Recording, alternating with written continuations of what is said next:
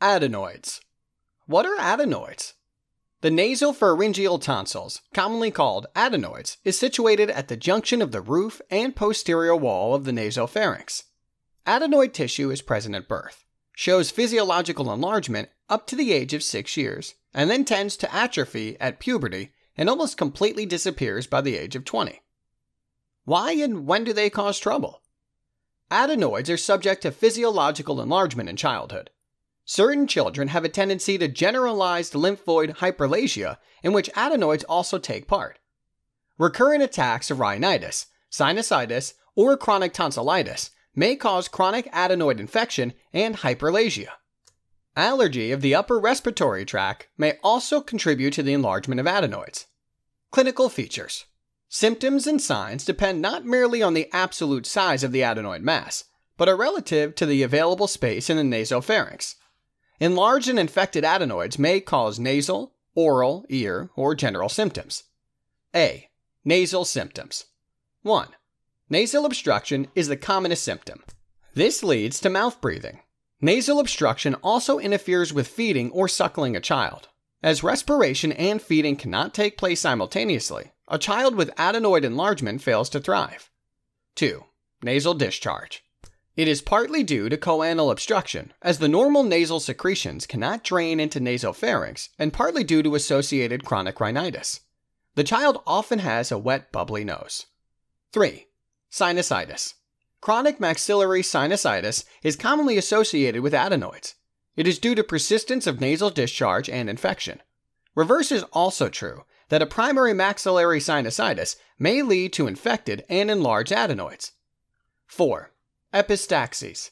When adenoids are acutely inflamed, epistaxis can occur with nose blowing. 5. Voice change, which is toneless and loses nasal quality due to nasal obstruction. B. Aural symptoms. 1. Tubal obstruction. Adenoid mass blocks the eustachian tube, leading to retracted tympanic membrane and conductive hearing loss. 2.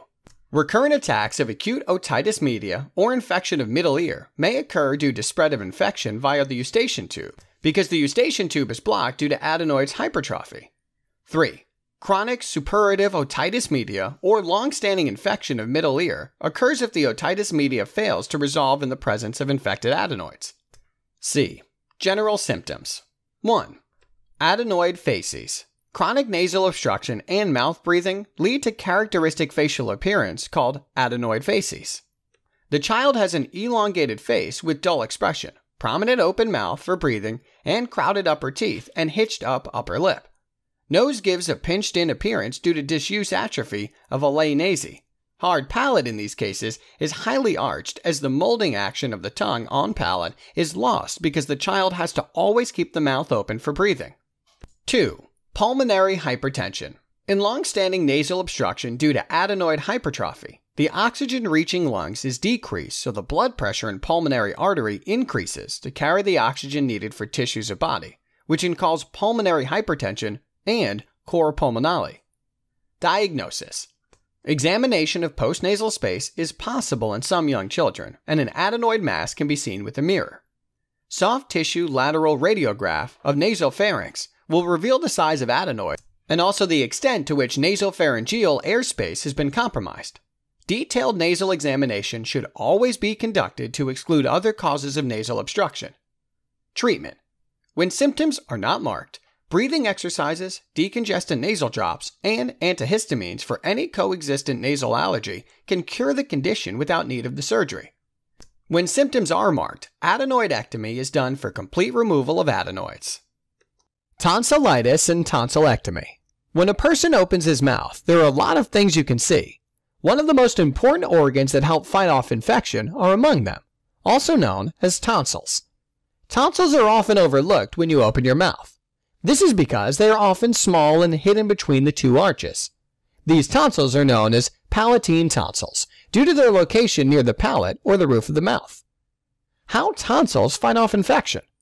The tonsils act like a sentry point for the throat, picking up virus and bacterial particles which are breathed in or swallowed, and relaying these to the immune system. To help with this role, the surfaces of the tonsils are pitted with a number of little recesses, also called tonsil crypts. These increase the surface area of the tonsils, relaying more viruses and bacteria to the immune system. How tonsils get infected? Tonsils can also become clogged with bacteria and food particles, which can lead to problems. When this happens, the tonsil itself becomes infected and starts to get swollen due to inflammation because of infection leading to condition known as tonsillitis or inflammation of the tonsils. Because the tonsils are always trapping bacteria, they can become infected quite commonly, especially in children, leading to condition known as recurrent acute tonsillitis. Signs and symptoms of tonsillitis. The main symptom of tonsillitis is sore throat, but since the throat and ears share the same nerves, the pain is often felt in the ears too. This process is known as referred pain. The pain is usually worse when swallowing, also known as odynophagia. Very young children may not complain of a sore throat, but may simply refuse to eat. In addition, you may also have a cough, fever due to infection, headache, feel sick, feel tired, and swollen and tender glands, lymph nodes on the sides of the neck, as well as bad breath. How tonsillitis is diagnosed? Diagnosis is based on a physical examination of your throat. Your doctor may also take a throat culture by gently swabbing the back of your throat. The culture will be sent to a laboratory to identify the bacteria causing the throat infection. Treatment for tonsillitis. A mild case of tonsillitis does not necessarily require treatment, especially if a virus, such as a cold, causes it. Good rest and remaining well hydrated are treatment of choice in such cases. Painkiller medicines can be added to relieve the throat pain. Treatments for more severe cases of tonsillitis may include antibiotics or a tonsillectomy. Antibiotics will be prescribed to fight a bacterial infection. It's important you complete the full course of antibiotics. Tonsillectomy is the surgical removal of tonsils to permanently end the problem of tonsillitis. Criteria for tonsillectomy. At least seven episodes in the previous year, at least five episodes in each of the previous two years, or at least three episodes in each of the previous three years. How tonsillectomy is done. Dissection and snare method.